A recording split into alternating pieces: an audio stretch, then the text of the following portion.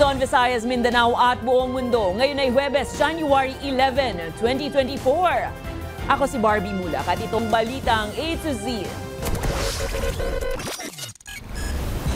Para sa TV ad na to, sa Pirma din galing yung ah, payment for the TV ads. Grupong Pirma, itinangging galing sa pera ng taong bayan o politiko ang ginasto sa EDSA Puera ad. Isang source ng tubig sa Baguio City, kontaminado ng dumi ng tao. Kaso ng gastroenteritis sa lungsod, lagpas dalawang libo na. Pangulong Marcos nakatakdang lumipad sa Germany sa Marso. At pinakamatandang pageant contestant na pasok sa Miss Universe of Philippines Quezon City. Kilalanin.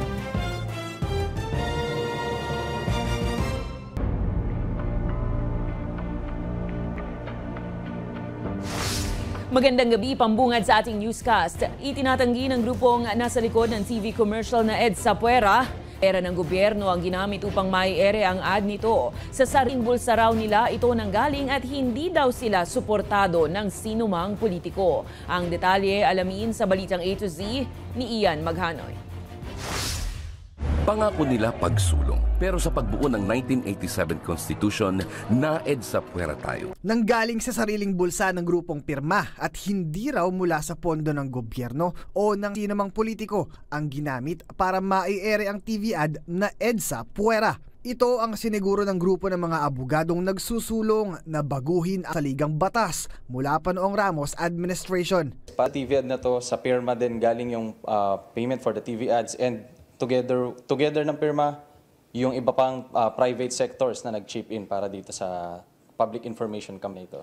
Wala raw silang ibang layunin sa likod ng patalas kundi ang pagkakaroon ng diskurso sa usapin ng charter change o chacha. para pag-usapan yung People's Initiative to amend the Constitution. If pwede nang pag-usapan, and if pwede na, ano ho yung mga gusto ng tao na i-propose na baguhin sa ating saligang batas. Kasabay ng paglap ng ad na ito, ang pagkalat naman ng People's Initiative o PI na di umano'y isinasabay na papirmahan sa mga nakakatanggap ng ayuda mula DOLE at DSWD. Pero depensa ng grupo, Hindi ho kami involved doon sa signature campaign and mas lalo nang hindi ho kami involved doon sa sinasabing kumakalat na ah, 100 pesos na in exchange for that signature. ang grupong Bayan Muna, duda sa paglakas ng kampanya para sa chacha. kakambal nito yung political motive why they want to amend the constitution.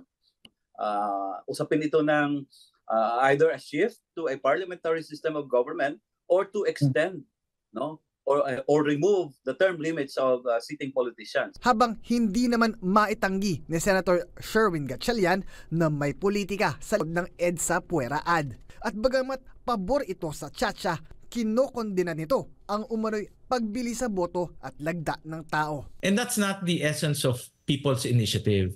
Ang nangyayari yun with PI, hindi na People's Initiative, PES Initiative na eh. Base sa Initiative and Referendum Act, may kapangyarihan ang publikong magpanukala sa gobyernong maamyendahan ang saligang batas sa kondisyong makalikom muna ito ng hindi bababa sa 12% na mga pirma mula sa kabuoang bilang ng mga rehistradong botante. Para sa Balitang A to Z, Ian Maghanoy. Itinanggi ng Commission on Elections na kasama ang charter change sa kanilang popondohan sa 2024 national budget. Unang sinabi ni Albay Congressman Edsel Lagman ang karagdagan 12 billion pesos ay para sa paghahanda sa susunod na eleksyon. Pero ayon naman kay COMELEC Chairman George Garcia, bahagi ito ng 17 billion pesos na hiniling na ibalik ng alisin ng kanilang budget proposal. Gayunpaman, hindi inaalis ng komisyon ng halala ng posibilidad na magamit ito sa plebisito na magtutulak sa charter change. Po, aamin natin pwede po sapagkat doon po nakalagay sa item yan doon sa sa recall, initiative, referendum at saka po preparation for any election. So, pwede po namin gamitin yan. Nasa amin naman po ang discretion bilang isang constitutional body. Pero siyempre po sa kasalukuyan, nakafocus po ang COMELEC sa resumption ng registration. Na, number two, nagko-concentrate kami sa preparasyon para sa national and local election ng 2025. At number three, naghahanda na po kami para sa barangay and SK elections din ng 2025. Balita Norte, isa sa labing dalawang source ng tubig sa Baguio City na pag-alamang taminado ng dumi ng tao dahilan ng outbreak ng gastroenteritis sa lungsod. May balitang ito si Kim Salinas. I I would like to declare, na officially declare, at uh, we have an outbreak of gastroenteritis dito sa... So, pati ako tinamaan. Pati wife ko tinamaan. Hindi nakaligtas maging ang mismong alkalde ng Baguio City sa outbreak ng acute gastroenteritis sa lungsod. Sa Tanang City Health Office, lumobo na sa mahigit 2,000 pasyente ang timaan ng naturang sakit. Kaya naman puspusan na ang testing sa mga establishmento at residenteng apektado ng outbreak. Total establishments affected is 218. A breakdown is 8 ang, uh, ang SM. And outside of SM is 154. La Trinidad 4. Base sa City Health Office, isa sa labing dalawang source ng tubig sa lungsod ang nagpositibo sa kontaminasyon ng dumi ng tao. It's a fecal contamination. So, meron siyang uh, may, may siyang bacteria na nakikita rin sa feces sa tayo ng tao. Ganyan.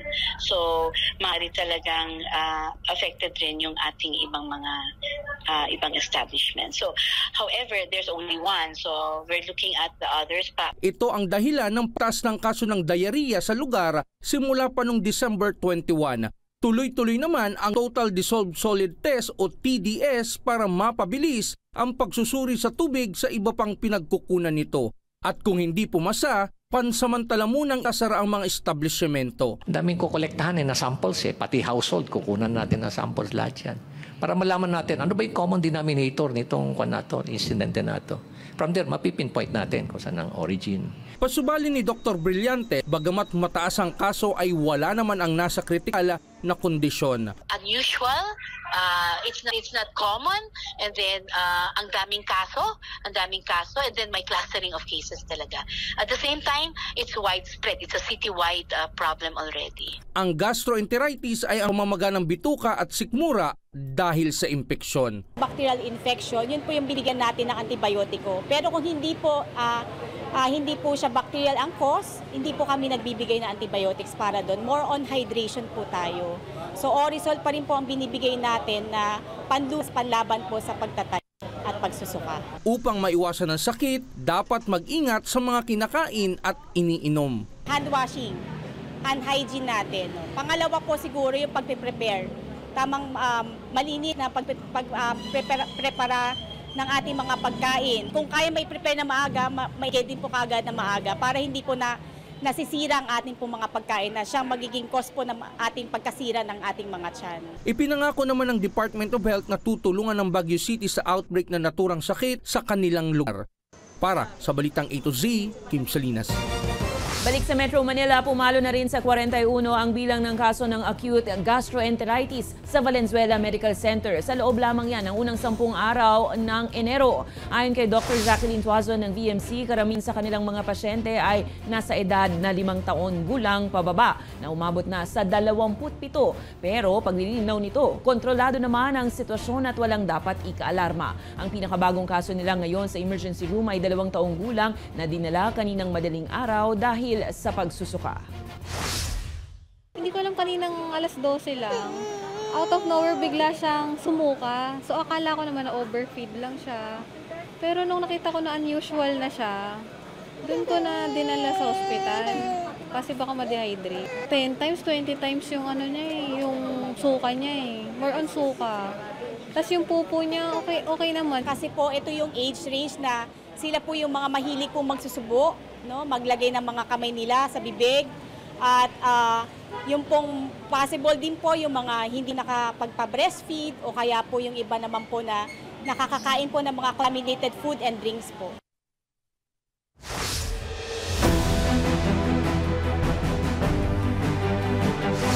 Nakatakdang lumipad si Pangulong Ferdinand Marcos Jr. sa Germany sa Marso. Sinabi ni PBBM na ilang buwan nang may komunikasyon ng Office of President at German Embassy in Manila hinggil sa arrangement ng naturang pagbisita. Kasabay nito, winelcome naman ng Pangulo ang pagbita ni Germany's Federal Foreign Minister Adelina Baerbock sa bansa. Emb- your embassy staff uh, has been we have been driving them a little crazy uh, because we, we we keep moving things uh, because things have been uh, things have been uh, uh, coming up. But I think we've come down onto the March 12th, more March 12th date, and so I can commit. Uh, I can commit to that now. Pagbabago sa gabinete, itinagal, itinalaga na ni Pangulong Ferdinand Bongbong Marcos Jr. bilang bagong Finance Secretary si House Deputy Speaker Ralph Recto. Nakatakdang manumpa bukas sa Malacanang si Recto. Iginiit naman ng asawa nito na si Vilma Santos Recto na bigyan ng pagkakataon ng kanyang asawa dahil magaling itong ekonomista. Palitan ni Recto si outgoing Secretary Benjamin Jokno. Inatasan ni Pangulong Ferdinand Bongbong Marcos Jr. ang Department of Education na aksyonan ang mababang performance sa Program for International Student Assessment o PISA. Ayon kay Education Undersecretary Gina Gonong, nais ng Pangulo na bigyan ng suporta ang mga guro para magkaroon ng maayos na edukasyon at pagtugon sa problema sa bullying. Magugunitang nasa ikasampung pwesto ang Pilipinas sa 81 na bansa sa PISA, kung saan isa ang Pilipinas sa may pinakakulela at pagdating sa pagbaba, matematika at agham. Actually, hindi naman disappointment, kundi yung push na uh, we need to keep working hard so that we improve our performance in PISA. Pero hindi nga lang PISA, kundi performance talaga ng mga estudyante natin as a whole. Hinihimok ni Senator Sherwin Gatchalian ng Energy Regulatory Commission na magsagawa ng malalimang investigasyon hinggil sa nangyaring malawakang brownout sa Panay Island. Ayon kay Gatchalian, dapat malaman sa investigasyon may nangyaring kapabayaan o kung may nangyaring kapabayaan ng NGCP. Git nito, maaari sana iwasan ng brownout kung natapos ang Mindanao, Visayas Interconnection. Gayun din ang Cebu Negros Panay Interconnection para magkaroon ng sapat na supply ang kuryente rito. If the other expansion projects are already online, we could Yeah. have avoided the scenario.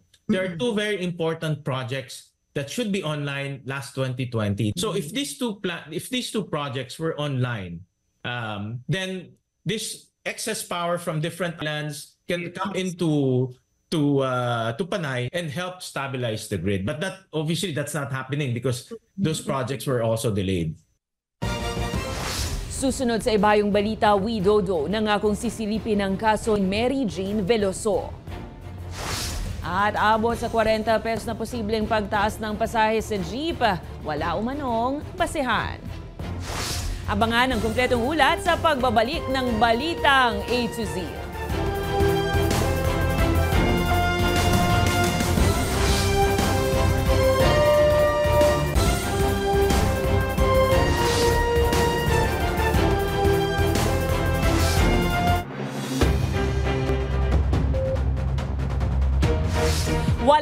Basehan. Yan ang sagot ng transport agency sa lumulutang na hanggang 40 pesos ang posibleng itaas sa pasahe oras na umarangkada na ang PUV Modernization Program. Dahil magmula nang pumasok ang modern jeep sa bansa taong 2017 ay 2 pesos lang naman daw ang diferensya sa pasahe sa traditional at modern units.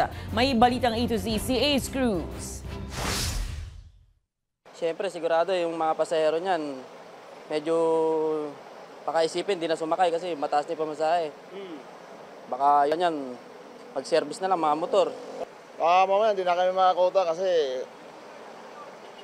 sa dami na rin ng ano eh, kulang pa pasahero. Yan ang pangamba ng mag-partners sa pamasada ng modern jeepney na si Alan at Marjun sa posibilidad na sumipa ang kanilang pasahe oras na tuluyang umarangkada ang PUV modernization. Ito'y makaraang lumutang sa pagdinig nitong Miyerkules sa isang komite sa Kamara na posibleng umabot sa hanggang 40 pesos ang itaas sa pasahe sa kanilang hanay. Kung ganito raw ang mangyayari, siguradong maghahabol din sila sa i-adjust na dapat kitain ng kooperatiba o korasyon na kanilang kinabibilangan. Bagay na dapat daw paghandaan ng mga commuter. Pag nag-LRT ako, mas mahal. So, wala rin akong choice kundi mag-jeep talaga. Siguro kakausapin ko na lang yung parents ko na ano, wala akong magagawa na tumaas talaga yung pamasahe. Bike na lang talaga may isip mo nun. okay. Kasi kahit paano pag-bike. Ang mahirap kasi yung malalayo talaga. Oo. Eh kung malapit lang, bike, oo, eh paano pag malayo? Paglilinaw ng Office of Transportation Cooperatives, walang dapat ipangamba ang modern jeepney drivers lalo na ang commuter. There is no basis to make such conclusion that fare increase will reach 40, 45, 50 pesos. Ang fare increase is basically a decision by LTFRB on the basis po, major basis, only basis, is the increase in our uh, crude oil, ang ating uh, gasolina po. That's the only basis po. Kung pagbabatayan, ang diferensya sa pagitan ng traditional at modern jeepneys mula raw nang pumasok ang modern taong 2017 ay 2 piso magpahanggang sa 2023 ay nanatili ang 2 pisong diferensya sa pasahe. Git naman ni LTFRB Chairman Teofilo Guadis III, walang dapat ipangamba ang operators na malugi oras na bumili ng bagong unit ng modern jeep. May mga modernized jeepneys ho tayo ngayon na gawa ng locally manufactured uh, companies na as worth 900,000. Kung idadagdag mo yung 280,000 na equity subsidy, 700,000 na lang basically ang babayaran. If you put this into 7 years, it would be only something like 10 to 12,000 monthly ang babayaran. Hindi na po mabigat to.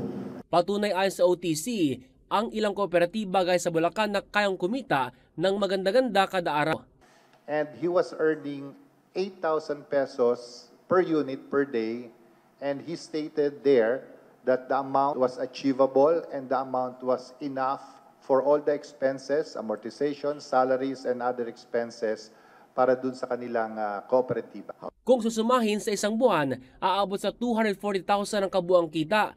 Patunayaan nila na kayang bayaran ng uutanging unit. Narindigan din ng transport agencies na tuloy na ang pag-arangkada ng modernization.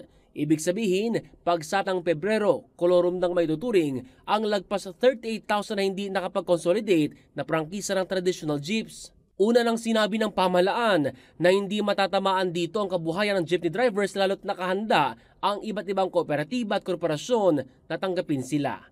Para sa Balitang A to Z, Ace Cruz.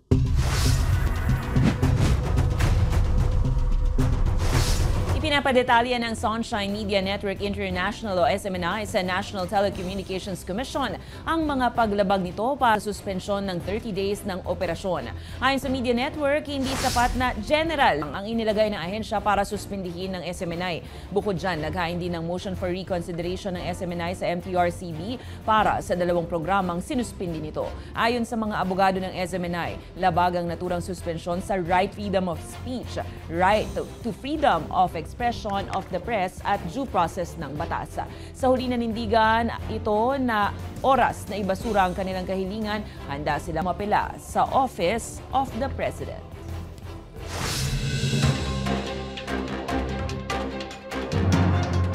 Inanunsyo ng lokal na pamahalaan ng Makati alinsunod sa direktiba ni Mayor Abby Binay na pwede nang magpakonsulta ng libre ang mga residente ng 10 Embo barangays sa lahat ng health center ng lungsod.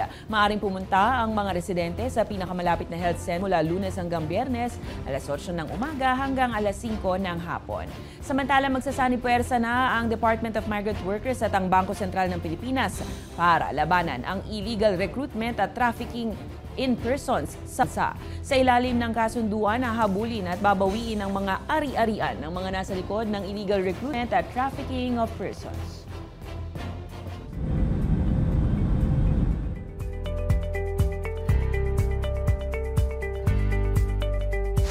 Tinapos na ni Indonesian President Joko Widodo ang tatlong araw na official visit bansa sa commitment na muling CCDP ng kaso ni Mary Jane Veloso. Kasalukuyan na sa death row sa Indonesia si Veloso, isang OFW, matapos mahulihan ng ilegal na droga sa maleta na ibinigay ng recruiter nito. Ayon sa Malacanang, mismo si Widodo ang nagbigay ng pagtitiyak na muling bubusisiin ang kaso. Tiniyak naman ni Philippine Ambassador to Indonesia Gina Hamoralin na ipagpapatuloy ang advokasya para sa hiling na clemency para kay Veloso. It's a continuing process, no? Uh, it's always in our, you know, in our uh, checklist, and uh, and the Philippine Embassy in Jakarta and the Department of Foreign Affairs are working on it. But of course, uh, I cannot predict everything. But I hope, let's hope that there will be a positive outcome. Sa aming pagbabalik sa showbiz, kurso ukol sa pop icon na si Taylor Swift, bubuksan sa UP. At totoo nga ba ang kasabihang age just a number? Pinakamatandang contestant sa Miss Universe Philippines Quezon City, kilalanin. Manatiling nakatutok, kayo ay nanonood ng Balitang A to Z.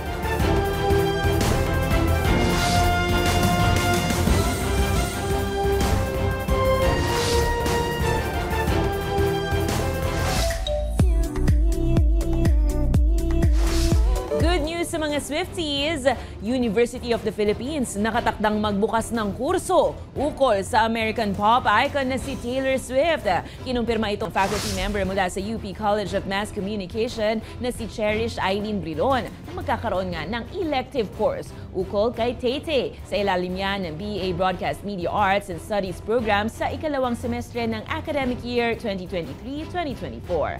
Iikot ang naturang kurso sa pag-aaral ukol sa mga konsepto, paano ito binuo maging ang mga nagdaang performance bilang isang celebrity. Layon din ng kurso na pag-aralan ng kaugnayan nito ngayon sa lipunan, kasama na ang politics, gender, race at marami pang iba.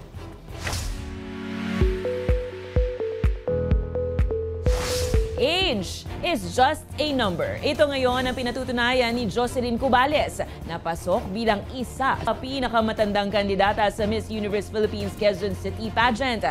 Ang 69 years old na si Jocelyn ay isa sa mga kandidata na kung papalarin ay pwedeng maging representative ng Pilipinas sa Miss Universe pageant stage. Si ay isang fashion designer na dati na rin sumali at nanalo ha bilang kauna-unahang Filipina representative sa South Asia sa Mrs. Universe noong 2017. Doon nakuha nito ang titulong Mother of the Universe sa kanyang advocacy at charity work para sa mga kabataan at kababaihan ng Pinas. Dala niya rin ang ilan pang mga karangalan sa labanan ng pagandahan nang makuha nito ang mga titulo gaya ng Mrs. Philippines Germany in 2000, Mrs. Asia International, Mrs. Asia International Global at Mrs. Eco Tourism noong 2014. Kung kayo ay may kwentong kakaiba, mga kwento ng pag-ibig, storya ng inspirasyon at pag-asa, maaari niyo itong ibahagi, sumali sa ating Facebook group na Balitang A to Z.